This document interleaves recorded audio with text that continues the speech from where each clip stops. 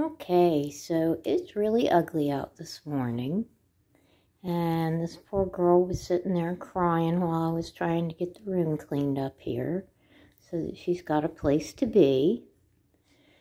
And I've got her set up as far as I can have her set up at the moment. And have to let her out to go potty because her potty box isn't here yet. But she's got a bed to lay in and some food and water. Yeah.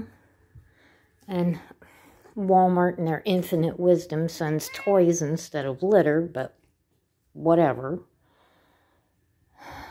But here we go. And she's in now. And I don't know if she'll ever want to go back out the door again.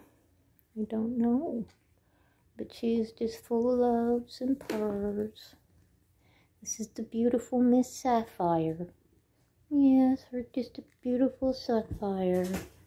Yes, her is. Her ow, ow! No, no, no, no, no claws, no claws. I understand the passions, but please, no claws.